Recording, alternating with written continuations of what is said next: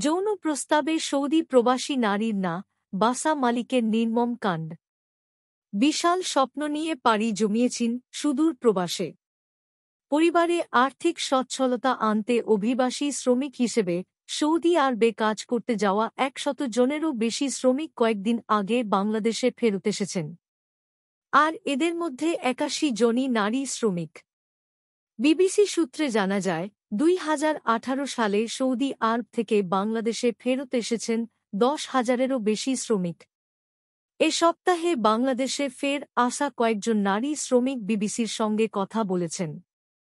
এদের মধ্যে আমেনা বেগম, ছদ্মনাম, অন্যতম একজন। বিবিসির সঙ্গে আলাপকালে তিনি তুলে ধরেন তার সৌদি আরবে থাকা দিনগুলোর গল্প।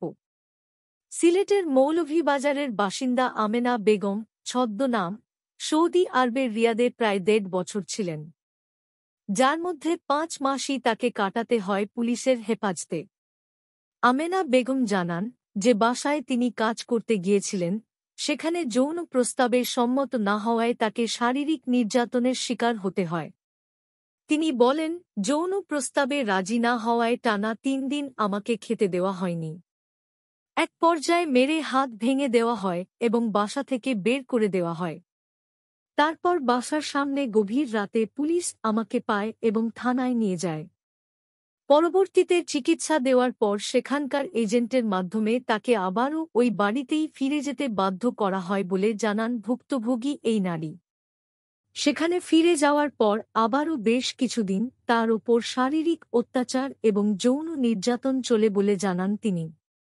শারীরিক অত্যাচারের পর এক পর্যায়ে তাকে আবারও একদিন রাতে বাসা থেকে বের করে দেওয়া হলে পুলিশ তাকে বাসার সামনে খুঁজে পায় এবং পরবর্তীতে পুলিশের হেফাজতে নেওয়া হয় তাকে। পরে পুলিশের হেফাজত থেকেই দেশে ফেরার ব্যবস্থা হয় তার। পঁচিশ বছর বয়সী এই নারী দালালের মাধ্যমে সৌদি আরব যাওয়ার পর গৃহকর্মীর কাজ শুরু করেন। যদিও যাওয়ার আগে তার কাছে গোপন করা হয়েছিল যে গৃহকর্মীর কাজের জন্য তাকে নিয়ে যাওয়া হচ্ছে। আমেনা বেগম জানান, সৌদি আরব যাওয়ার জন্য দালালকে এক লাখ টাকা দিতে হয় তাকে। কিন্তু সেখান থেকে ফেরার সময় তাকে ফিরতে হয় খালি হাতে।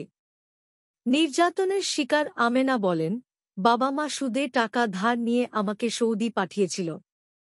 সেখানে সব নির্যাতন, অত্যাচার সহ্য করেও কাজ করতাম টাকার জন্য। কিন্তু টাকা চাইলেই আমার ওপর অকথ্য নির্যাতন চালানো হতো। এক বছর কাজ করলেও শেষ পর্যন্ত দুই মাসের আংশিক বেতন দেওয়া হয় আমাকে।